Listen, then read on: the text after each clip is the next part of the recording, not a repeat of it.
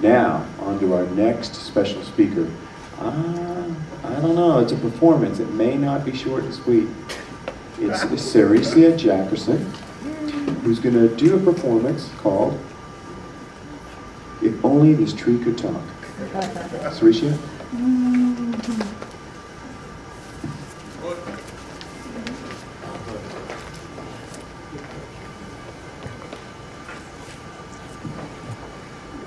Thank you, Paul.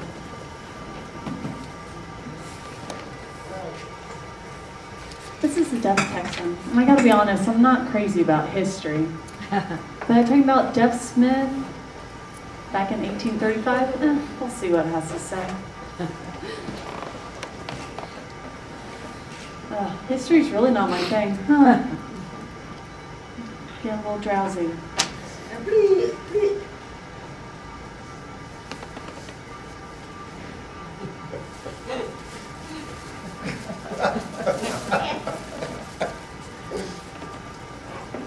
Mm-hmm. Oh, there's Deaf Smith, climbs up on me. To look out. There he oversees Old San Antonio, Cibolo Creek and Trail, and Gonzales.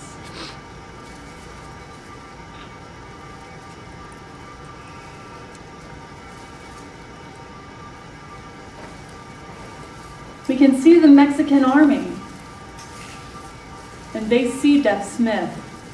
Deaf Smith saw them too and told them how small their army is. And our army is huge. Go away home.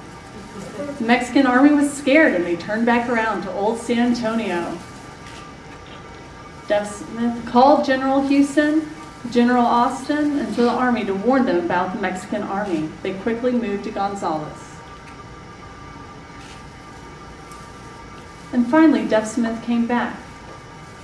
And we continued our lookout.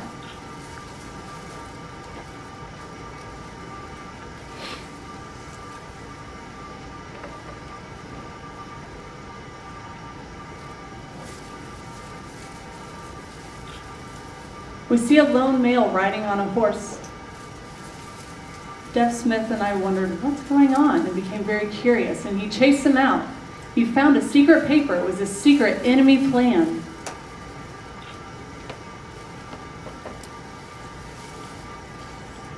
I have tell General Houston. I'm going to have to rush to Gonzales to show him the secret paper. And I waited for Deaf Smith until he came back. Finally, he came back and sat out on a limb, and I asked him, hey, what happened? And he told me that General Houston and the Army burnt Gonzales down and then moved east by water on the Gulf, and Deaf Smith had to go and help with the battle.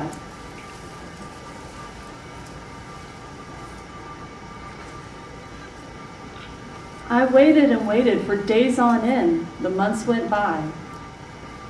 And during those four months, I wondered, what is Deaf Smith doing? During that time, I could hear the cannonballs, the screaming, the fire, and the battle.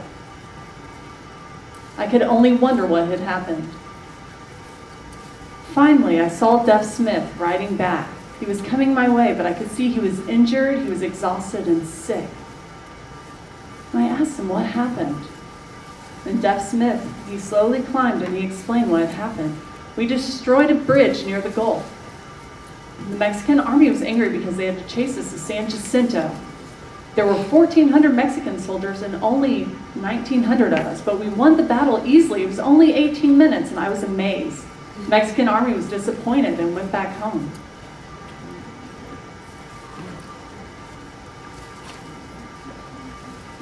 Told me, he said, I'm exhausted. My duties here are over, though. I'm ready to go home to my family. And I saw him right off.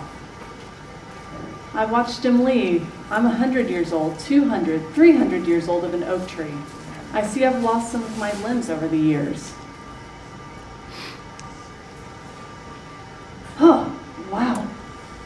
What a dream I just had about Deaf Smith. Wow, he was a soldier, he was a scout, he was a spy. He was a true hero in Texas history.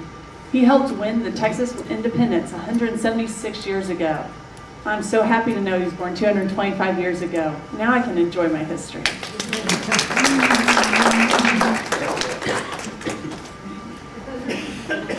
You know where this came from. Hmm.